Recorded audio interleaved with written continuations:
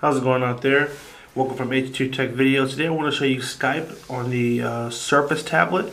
Let's go ahead and launch the app right here. I'm actually going to show you the setup as well as uh, how to use it just because the setup um, has a couple of things that are interesting you should know. Uh, first it asks can you use the camera microphone. We're going to press allow. Um, can let it run in the background? I don't really recommend this myself unless you use Skype a lot because it will uh, it can be a drainer on your battery. So unless you're Skyping every day, and a lot of people have your Skype, uh, you know, uh, username, I wouldn't recommend this. I'm going to hit don't allow for that. And now it should be time to put your information in to sign in. Skype is pretty much the most popular of all the uh, uh video chatting services, you know. Uh, let's see, uh, if you don't have a Skype account, go ahead and hit new. I have one, so I'm going to hit I have a Skype account. And I'm going to go ahead and sign in here. Put in the info here. Uh, I do have an H2 Tech video one. However, I rarely use it, so unfortunately, this isn't um, not really one that you guys would be able to hit me up on. So sorry about that.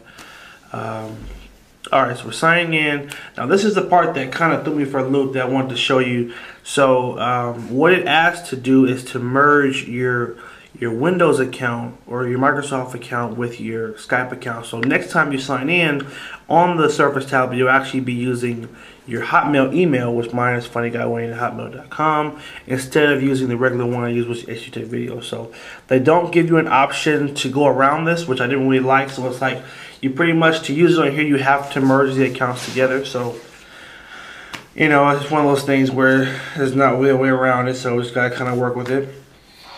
But uh, here we go. We're in. And um, just kind of go over a couple of things here. It'll show you recent calls you've made. It'll show you uh, favorite people. And then here are just other people or standard. Like there's always the uh, test account right here where you can test to make sure your mic and your video is working. And I'm going to call myself because I have another Skype account. So I'm going to go ahead and tap this account. And oh, oh, oh, O'Reilly. Just kidding, hilarious commercial. So, uh, pretty simple. If you want to call somebody and they're someone that you talk to a lot, you'll probably already have them in your people section. And you would just tap their picture like I just did, and then you would hit call, uh, which would be a voice call or a video chat call. So let's try that first. Let's go video. And you can see me right here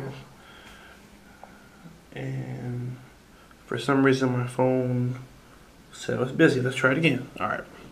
Video call, tap the video icon, and there it is. It's calling me right now on my phone. So I'm gonna go ahead and um, pick up with video. And now, I'm gonna turn my phone down because there will be a bad echo. But here we go. So you actually see me and there's um, me and the camera there waving in the little corner.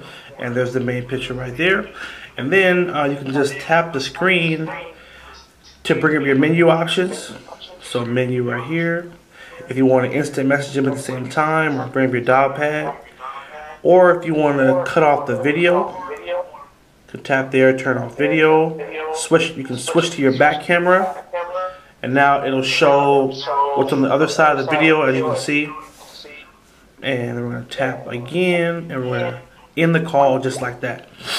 So that's kind of a basic you know Skype call right there. Pretty simple. Um, and again they do have the messaging option right here where you can send the messages via Skype. We have our, our menu over here where we're going to swipe to the left bring up our menu options and we could hit you know for our settings if you needed to uh, sign out, I believe you would do it over here in the options. See options, here we go, microphone. So you can kind of, if you wanted to plug in your own microphone, you'd obviously be able to switch it right here. Same thing with the speaker. Um, to change the camera, you could actually plug in a webcam on here if you wanted to use a better camera. That's an option too. And then um, also, your options here for incoming calls, asking if you want to actually do video or screen sharing. Um, if you want to clear your history of who you've talked to in case you're talking to somebody you're not supposed to. And you can also set to answer calls automatically. Okay, so that's kind of how you bring up the menu just by swiping from here to the left. And um, let's see, let's see. Uh, oh, that's right. We can pull over here and hit search. Um, oh, actually, you cannot search within this app, so that's good to know. So this search button that's normally right here can't be used to search for people on Skype. All right, and basically that was uh, Skype on the uh, Windows Surface tablet, and um, you know works really good. The cameras on the Surface are pretty good. You got your front and rear camera. Uh, this would be a great tablet to be able to Skype with friends and family. Uh, definitely because you know again it's just like having a PC, except you just have a lighter version of it.